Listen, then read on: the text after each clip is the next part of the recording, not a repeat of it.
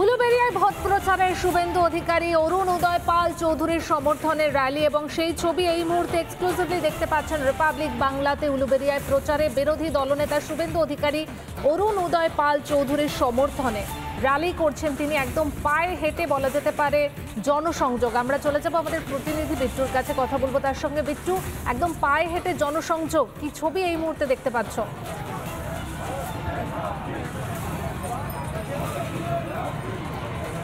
দেখো তোমাকে প্রথমে জানি রাখি বিরোধী দলনেতা শুভেন্দু অধিকারী এই উলুবেড়িয়াতে আজকে যে জনসংযোগ যাত্রা করছেন, সেই সময় দাঁড়িয়ে প্রচুর মানুষজনের ভিড় দুতরফে দুদিকে দেখা যাচ্ছে।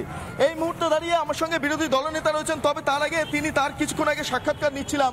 তিনি এখানে আনিস খান, তার পাশাপাশি নওসাদ সিদ্দিকী সহ ফিরাদ হাকিম সহ বিভিন্ন ইস্যুতে তিনি মন্তব্য করছিলেন। তবে এই মুহূর্তে দাঁড়িয়ে বারবার তিনি যেটা সংখ্যালঘু ভাই বোনদের কাছে মূলত যেই আবেদন রাখছেন, সেটা হলো যে পরিবর্তন ঘটাতে হবে।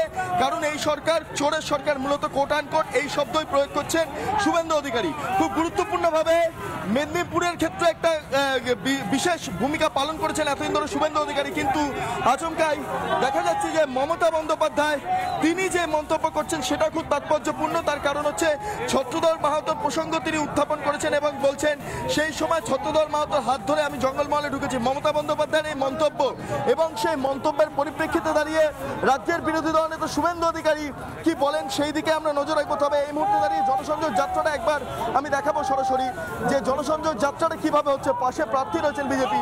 একবার এলপির কাছে মূলত তার যে বক্তব্য, সেই বক্তব্য শুনে নেব। তবে একবার একবার সামগ্রিকভাবে ছবিটা দেখাচ্ছি। শুভেন্দু বাবু মমতা আমি আমি আরেকবার যাব। মমতা বন্দ্যোপাধ্যায় বলছেন ছত্র মমতা বন্দ্যোপাধ্যায় বলছেন ছত্রধর মাহাতো হাত ধরে তিনি নাকি জঙ্গলমহলে প্রবেশ করেছেন মমতা বন্দ্যোপাধ্যায় আমি আড়াইটা থেকে তিনটার মধ্যে পীড়া কাটাতে দেবো। আপনাদের চ্যানেলের লোক পাঠিয়ে দেবেন। মমতা ব্যানার্জি সব উত্তর পাবলিকলি দেওয়া ভালো।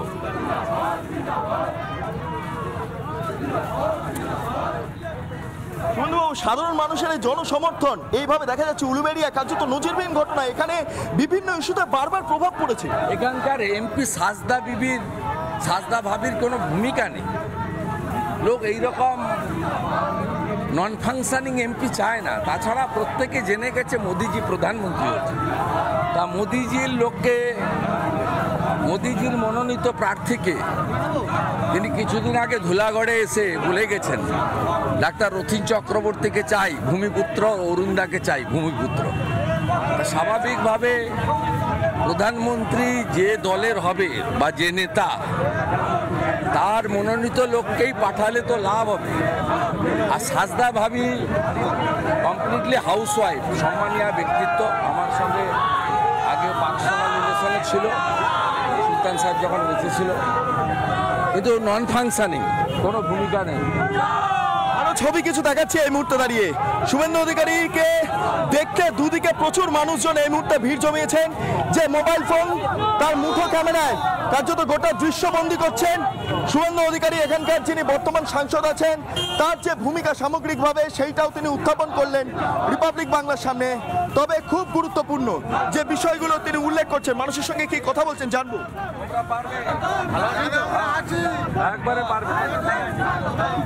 এইভাবে জনসমর্থন মিলছে।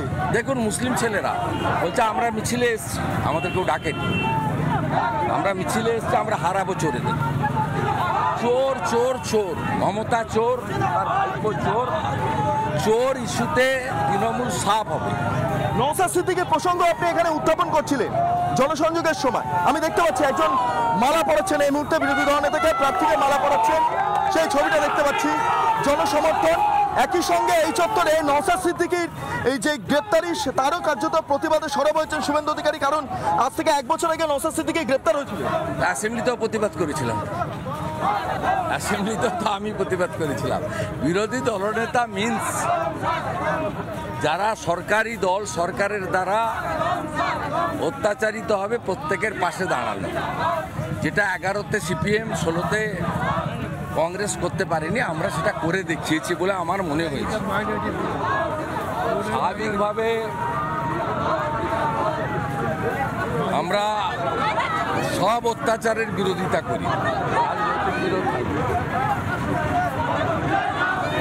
ছবিটা একবার দেখাতে বলব ওয়াসিমকে। দেখতে পাচ্ছি, ছাদের ওপরে দাঁড়িয়ে রয়েছেন মানুষজন। ছাদের ওপরে দাঁড়িয়ে রয়েছেন শুভেন্দু অধিকারী।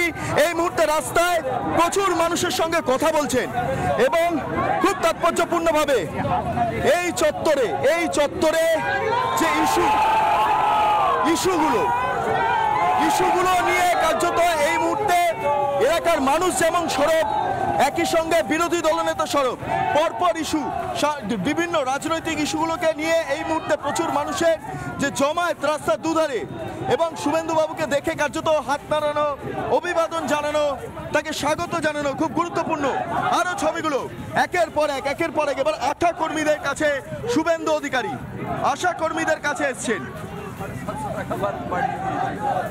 মধ্যপ্রদেশে আমরা আশা টাকা করে আমরা বিজেপিকে আনুন মধ্যপ্রদেশের মতো দেবো এবং রেগুলারাইজ বিজেপিকে আনুন আমি একটা সম্মেলন করেছিলাম সায়েন্স সিটিতে তারপরে আইসিডিএস আর আশা সাড়ে সাতশো টাকা বাড়ি। আপনাদের সাথে আছে বিরোধী দলনেতা বিধানসভার বক্তব্যে দেখবেন, আশা দিদিদের জন্য, আইসিডিএস দিদি বোনেদের জন্য আমার লড়াই আছে। আশা কর্মীদের সঙ্গে এই মুহূর্তে কথা বললেন বিধানসভার অভ্যন্তরে আশা কর্মীদের নিয়ে শুভেন্দু অধিকারীর যাবতীয় বক্তব্য।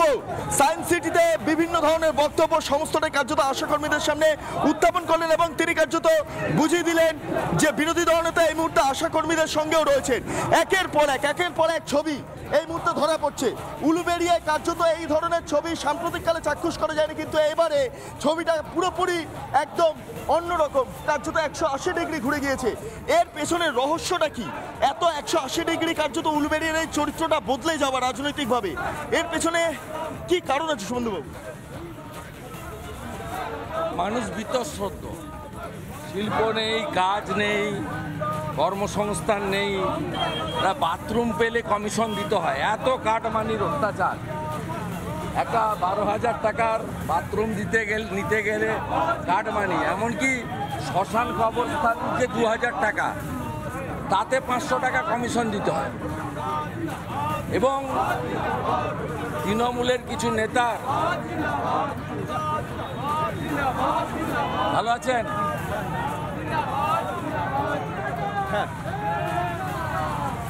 মানুষ বিতশ্রদ্ধ হয়ে গেছে। কোনো পরিষেবা নেই, শুধু ভাষণ আর ভোট এলে হিন্দু মুসলমান করে